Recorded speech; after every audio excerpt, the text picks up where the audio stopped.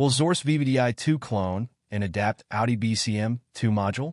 Hey everyone, welcome back to my channel, your go-to spot for everything on automobile diagnostics. Before we dive in, I have a quick favor to ask. If you haven't yet, please hit that subscribe button, ring the bell for updates, and stick around till the end so you don't miss a thing. And if you enjoy the content, a super thanks would mean the world to us. Let's get started. BCM 2 Cloning and Adaptation FAQs. Question 1. Can BCM 2 be cloned using Xhorse VVDI Key Tool Plus or VVDI 2? Answer. No. BCM 2 cannot be directly cloned by simply writing data from one module to another using VVDI Key Tool Plus or VVDI 2. Here's why and what is required. 1. Key limitations. Tools like VVDI2 or VVDI Key Tool Plus do not fully support cloning of the BCM2 module. Transferring IMMO, immobilizer, data is a critical step in BCM2 cloning which requires additional tools or expertise. 2. Cloning process. Step 1. Read data 1 and data 2 from the original locked BCM2. Step 2. Extract DFlash and PFlash from the donor, used BCM2. Step 3. Upload the flash and EEPROM slash DFlash files from both BCM2 modules, original and donor. Step 4. Contact a specialist or use a professional IMMO data calculator, e.g., Marcelo Korenfeld's calculator, to adapt the data properly. 3. Important notes. The original BCM 2 module's immobilizer data must be transferred to the donor module. Without proper adaptation, the clone BCM 2 will not function correctly. Question 2. Is it possible to adapt BCM 2 using Xhorse VVDI2? Answer. No, VVDI2 alone cannot fully adapt a BCM2 module. Here's what you need to know. 1. VVDI2's role.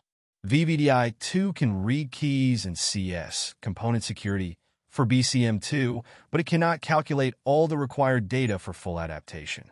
Writing incorrect files to the BCM2 can damage the MCU, microcontroller unit, potentially rendering the module unusable. 2. Options for adaptation. If original data is available, read DFlash and PFlash from both original and donor BCM 2 modules.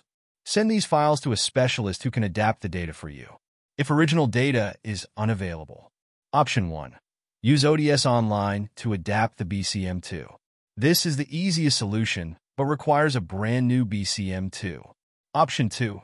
Restore immobilizer data from other modules, e.g., Engine ECU, Gateway, and resolve component protection, CP. This process is more complex, but feasible with proper tools and expertise. 3. Recommended tool for online adaptation. ODIS, Offboard Diagnostic Information System, is the best tool for BCM 2 adaptation. It allows online coding and adaptation of a new BCM 2 module to the vehicle. Summary recommendations 1. Cloning BCM 2. Use tools like VVDI2 or VVDI Key Tool Plus for reading data, but you'll need additional tools or expertise to adapt the immobilizer data. Consider hiring a professional or purchasing an IMMO data calculator.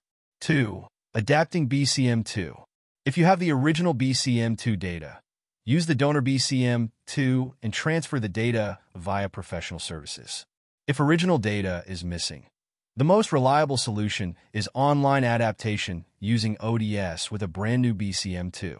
3. Precautions. Always back up the data from both BCM2 modules before making changes. Be cautious of writing incorrect files, as it may permanently damage the donor BCM2. Thanks so much for watching till the end. If this video helped you out, give it a thumbs up and leave a comment. I'd love to hear from you. And before you go, Make sure you're subscribed so you don't miss future videos.